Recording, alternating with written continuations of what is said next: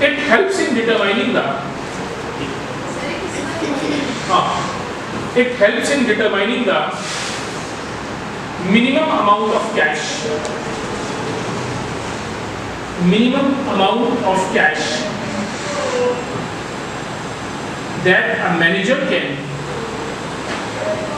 that a manager can obtain.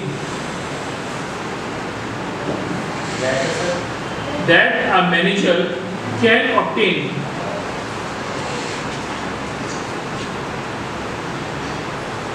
by converting by converting securities into cash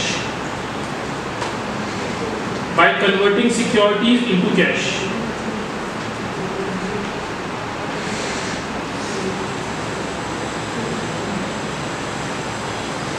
by converting securities into cash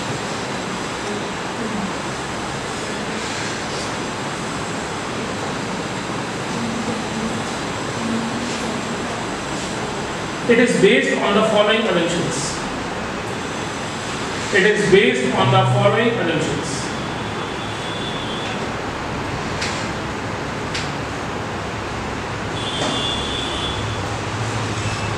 First point,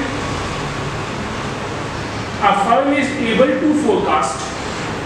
First point a firm is able to forecast its cash requirement a firm is able to forecast its cash requirement in an accurate way.